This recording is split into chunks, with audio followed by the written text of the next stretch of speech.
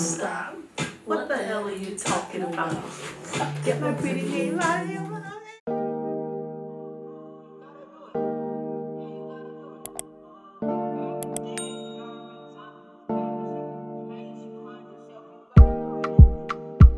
beautiful people welcome back to my channel it's your girl Titi here i hope everyone's having a wonderful beautiful fabulous day so if you're joining me in today's video you're here to check out the tea on my $50 wig that looks like a $500 wig. So let's get into it. So this wig is actually from Sensationnel and it's part of their Cloud9 Swiss What Lace collection.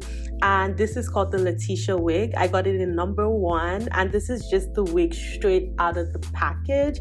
So a little bit of tea about this wig. It is a lace frontal wig. It does have 13 by 6 inches of lace right in the front.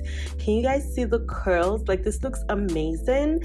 Um it is also a synthetic wig so it kind of gives you that yaki looking texture which is nice it does come with some combs as well as some elastics at the end just to make it properly fit this was actually a perfect fit for me so that's just what the inside of the wig looks like here's what it looked like like right out of the bag and this is looking like all shades of crazy to be honest um it does have like some baby hairs that you can work with. So I'm to also show you what the curls look like in the back. Like this is definitely a big hair kind of look. Like look at that. Look at that.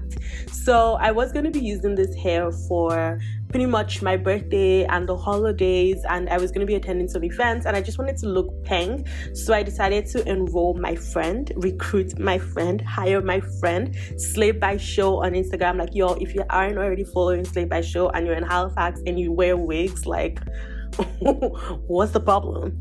And so I decided to get Shola to help me with installing the wig. And so this entire process, which I'm definitely gonna shush through because I I'm still learning. Like I'm going to watch this video. Like lately, I've been watching these videos to kind of understand how to put on my um, wigs. But anyways, I'm going to keep quiet and let you guys walk through the process or watch the process with Shola with some music. Um, but she really did her thing with this wig. I hope you enjoy it, and I will see you all in my next video. God willing. Stay blessed. Bye bye.